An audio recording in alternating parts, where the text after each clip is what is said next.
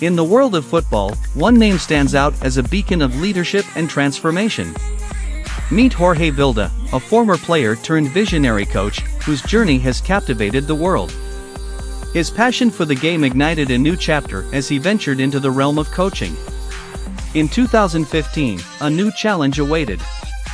Appointed as the head coach of the Spain women's national team, Vilda stepped onto the stage with determination. With a team in need of revival, he orchestrated a remarkable turnaround. He led them to new heights, conquering the UEFA Women's Euro and securing a spot at the World Cup after two decades of anticipation.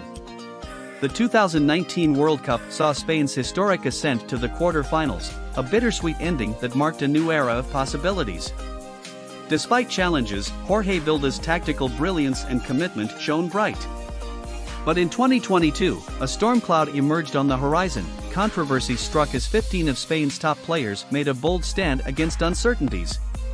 The football world watched as opinions clashed, a crisis that threatened to overshadow their World Cup dreams.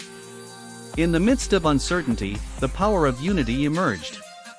Mediation paved the way for reconciliation as Vilda and his players embarked on a path of redemption. Undeterred by adversity, Vilda and his team poured their hearts into preparation. Training camps spanning continents, facing formidable opponents, all with a singular goal to be the best. As the 2023 World Cup approaches, a crescendo of anticipation fills the air, the stage is set, the spotlight awaits, and the world will witness Jorge Vilda's coaching prowess tested on the grandest stage of women's football. In the heart of the arena, dreams will collide, destinies will unfold.